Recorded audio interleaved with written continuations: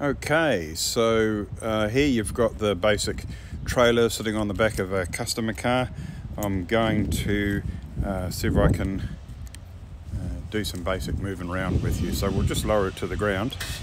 Uh, and we've got a remote uh, control that we can do that with. It's got a range of about six meters. We want to make that longer over the next few um, next few weeks. So there we are going to the ground. And as you can see, it gets right down there. You're not going to have any trouble getting a low car or other device on this on this trailer.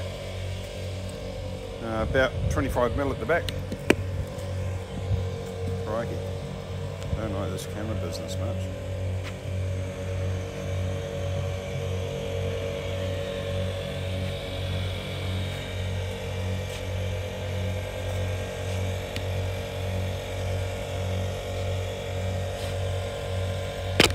Wow, what a fucking mess.